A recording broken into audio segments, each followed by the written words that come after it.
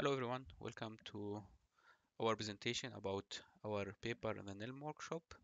So my name is Mazen, I am a PhD student at the Technical University in Clausthal and today I will be presenting to you our paper about uh, improving NILM algorithms using data information.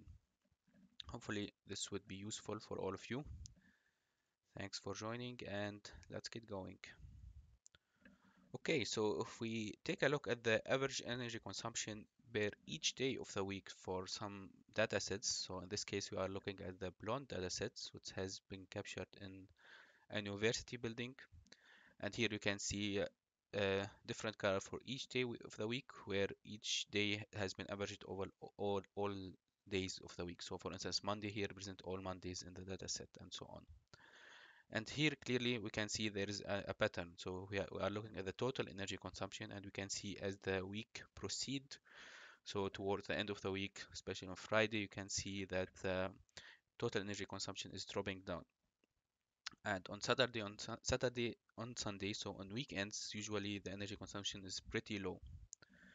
So just by looking at this as, as this diagram or this plot, we have some intuition that we may need to treat week work days different than weekends and holidays. So that's the main idea behind our paper actually. It's how we can treat this different kinds of days uh, separately.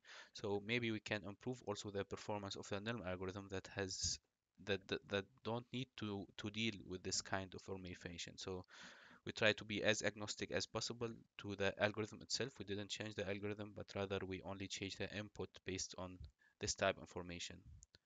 And this is where also the day type information came from in the title of our paper.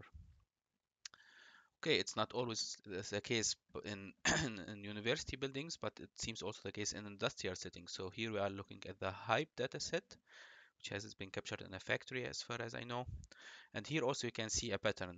It's not as clear that the average consumption is dropping down during the work days, but at least on Saturday, on Sunday, clearly the average consumption is much lower than the work days. And finally, we take a look at the residential setting, which is one, it's the most popular setting as far as I know in the NILM research. And here we are looking also as a pretty popular dataset, UK-DALE, has been used in multiple previous researches. And here we can see somehow that's not as as as as unique as we saw in the previous cases. So here we can see that during the work days, the total energy consumption uh, jumps towards the evenings, which if, if you have a working family, so the the family joins at the evening maybe, and that's uh, this explains this behavior. And on the holidays or weekends, we can see that there is uh, consumption that scatters all over the day. So here we, we also have some different types of patterns if we want to classify them between weekends and work days, but they are not as the same in the previous data sets where they reflected uh, the work days where have we, we, we have high energy consumption and weekends lower one. Okay, so here all of the previous plots that I showed you all together. So you can see the the two ones, uh, the, the, the one in the middle and the last one are for the BLOND and HIPE data sets. And here we can clearly see that the energy consumption is much slower on the weekends, which is not the case in the case of UK-DALE, as you can see here. Okay, yeah, so as I mentioned before, that was the idea behind our paper. So how we can maybe split this type of information and uh, based on this split, we can maybe improve the performance of, of the NILM algorithms without changing the algorithm itself, so agnostic to the algorithm.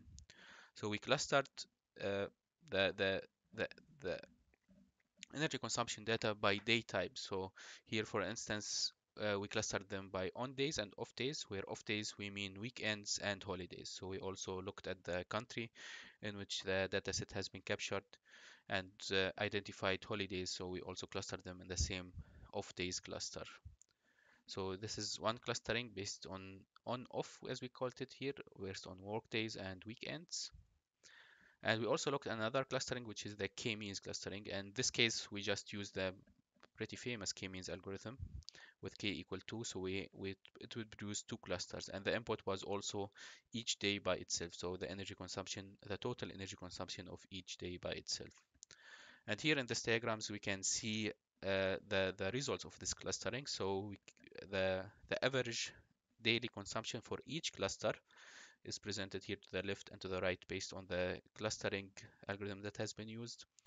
Uh, and the blue line represents the total energy consumption of all days so we can see here that uh, in the case of BLOND, for instance, that the two cluster the two clustering method agreed to some degree that in the sense that we have a cluster with high consumption, which is cluster two in this case, and cluster two is the majority cluster also in the k-means algorithm. So they agree that they have this cluster with high energy consumption, but uh, they don't agree about the off days cluster. So here in the case of the off days cluster, it's almost non-existent here so the energy consumption compared to the average consumption each day or the on days is pretty low. But here the k-means algorithm chosen a cluster where the energy consumption is a bit higher. So cluster one most likely also includes some on days in the case of k-means. The case of HIPE we can the, the, the two algorithms actually have the pretty similar in the case of what they clustered. So yeah you can see here one cluster is almost uh, for low, lower consumption another one is for higher consumption. So it was much clearer case. And the most difficult case in my opinion was the UK-DALE where we can see here towards the difference actually is towards the end of the week uh, of the end of the day sorry. So the case of k-means they that it, it based this clustering on on the on the fact how the energy consumption look at the end of the day which we also saw previously. So during weekdays, we had higher consumption only at the end of the day. And this was the case for k-means. So it cluster 2, which is the majority cluster where this consumption is higher towards the end of the day and cluster 1 where this consumption is lower. And in the case on on-off days, it didn't pay much attention or the, the clustering method didn't cluster the data set such there is a difference in the the late hours of the day, but rather during uh, the the, uh, the the the days the uh, the working hours, let's say, so from 8 to about 16. Okay, so yeah, this is the average per cluster, and we can see that there are some differences, especially in the case of UK-DALE, where the other uh, clustering method may be justified. Okay, as I mentioned before, our our method, we tried as much to be agnostic to the actual algorithm that has been used. So we choose here few popular NILM models that has already been uh, used and proved themselves, especially in the case of sequence to sequence and sequence to points, which are considered among the state-of-the-art models for NILM.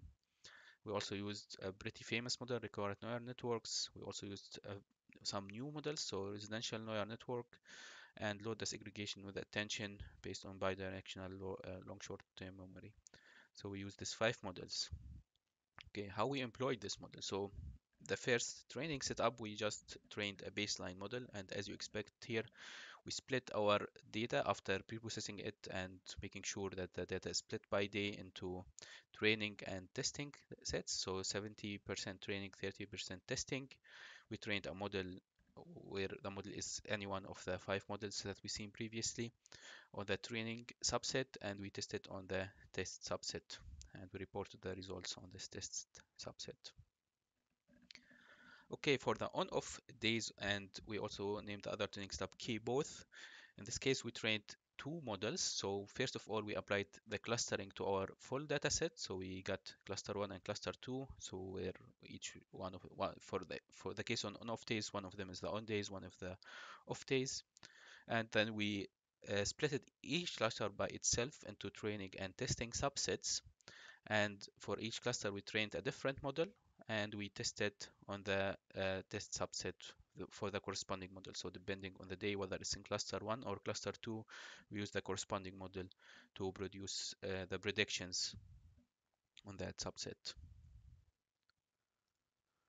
Okay, and we had the on days and k majority trust training setup and this case we only had one model that has been trained on the majority class so if cluster one includes the majority of the data we trained only one model on the training subset uh, of that cluster and then we use the same model to testing on both cases and the rationality behind the setting is that we notice that sometimes this could produce better results because we can consider the training subset of the cluster 2 or the training data or cluster 2 in general as just a, a special case that distribute or doesn't contribute to better learning for the model.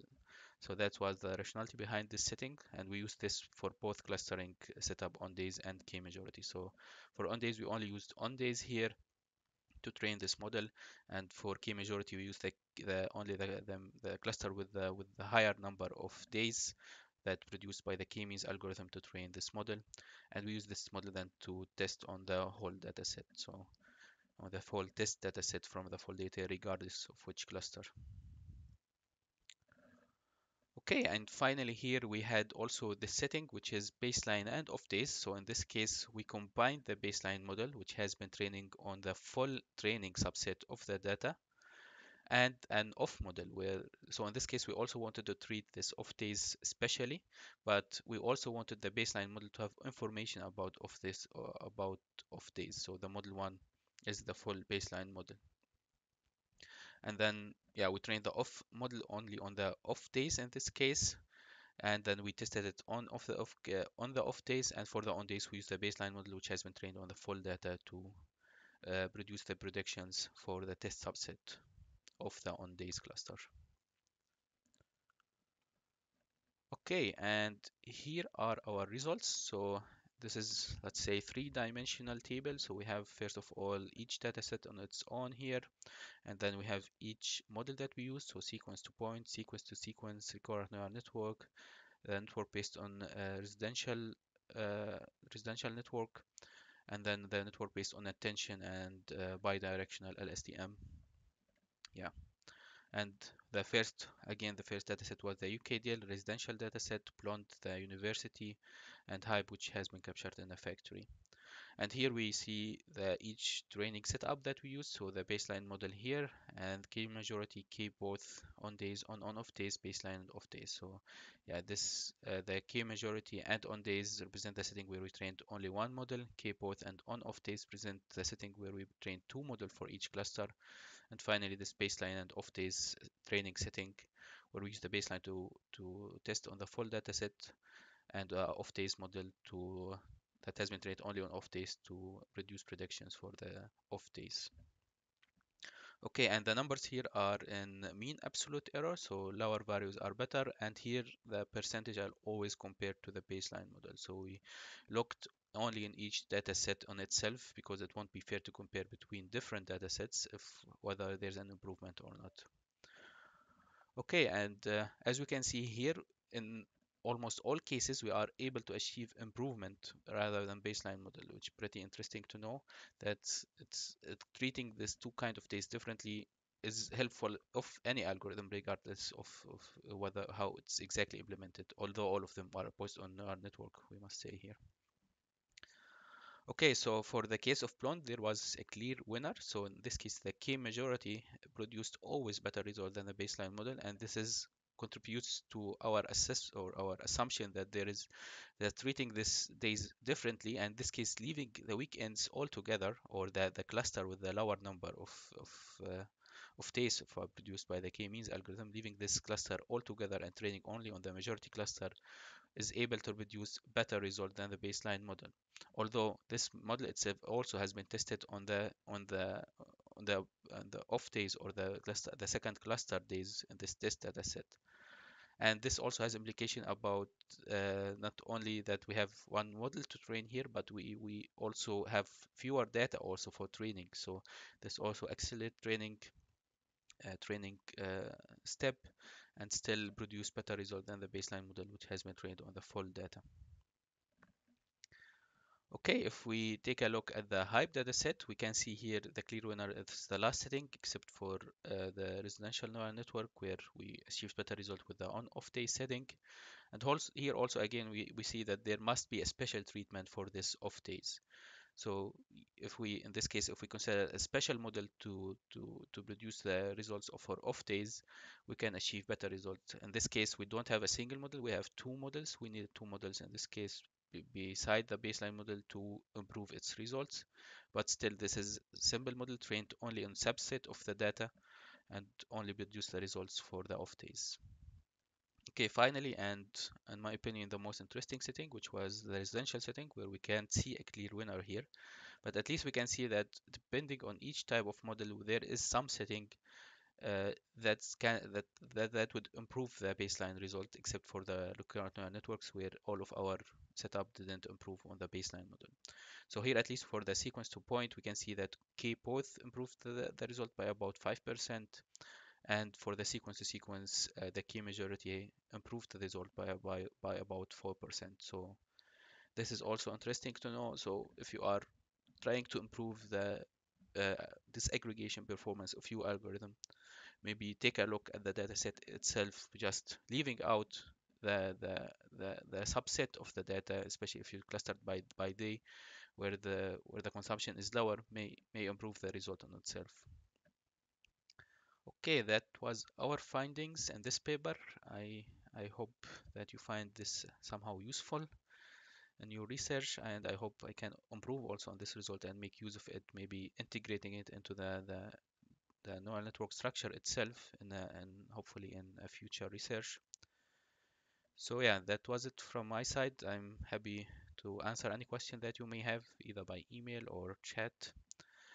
And I hope you have a nice rest of the day and enjoy the rest of the workshop. Okay, thanks a lot for your time and maybe see you in person next year, hopefully. Okay.